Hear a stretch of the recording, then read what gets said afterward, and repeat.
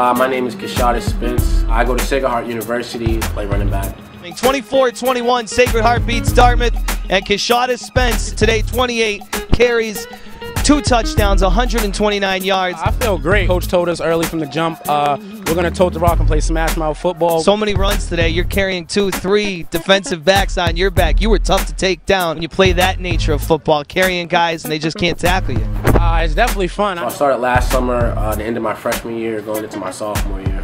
Uh, it's definitely explosion because that's what I always tell them I want to work on when I come here. It's explosion in my core. Uh, being a running back, you need good footwork. You need to have good core. I had 550 yards, 4.4 yards per carry, and seven touchdowns. This season, I ended off with 816 yards, and I led the conference in yards per carry at 5.6, and I had eight touchdowns trying. Trying to get to that thousand mark. I, I used to play D line when I was little, so it was a dream come true to play running back, but it's hard work.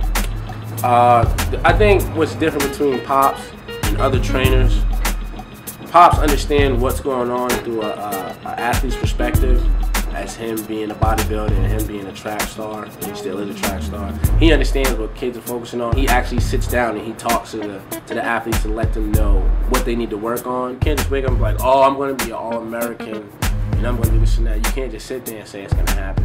You know what I'm saying? You gotta work for it. It's not gonna just come. Hard work, be talent all the time. Because nine times out of ten, the ones who work hard are gonna get it.